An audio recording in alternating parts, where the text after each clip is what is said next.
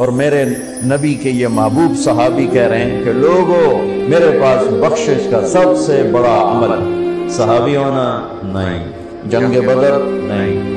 जंग ओहद नहीं। सुलह हुदैबिया नहीं। जंग खैबर नहीं। आखिरी हज नहीं।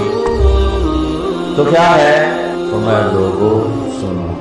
मेरे पास बख्शिश का सबसे बड़ा कि मैंने पूरी ज़िंदगी में कभी किसी को इस जबान से दुख नहीं पहुँचाया। और मेरे दिल में किसी इंसान का बुगज नहीं है। क्या ये मेरे पास बख्शिश का सबसे बड़ा अमल